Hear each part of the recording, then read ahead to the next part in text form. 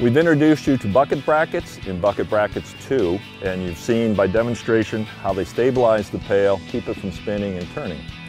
We now would like to introduce a brand new companion product that is further going to improve your small batch mixing. It's going to make your workers safer and improve efficiency, saving labor cost.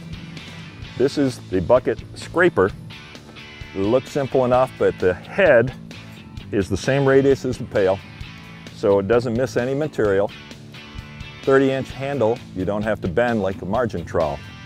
So five passes usually does the whole mix right to the bottom where sometimes there's material that never gets incorporated, it stays dry. Now you can reach it, twist it. Again, five passes down the side, you scrape the whole bit, pail. No bending. This product is heavy duty steel, it's Teflon coated for easy cleanup. It will save you time, it will keep your workers happy.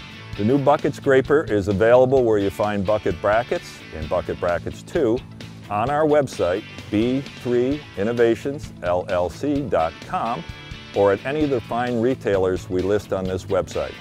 Thank you.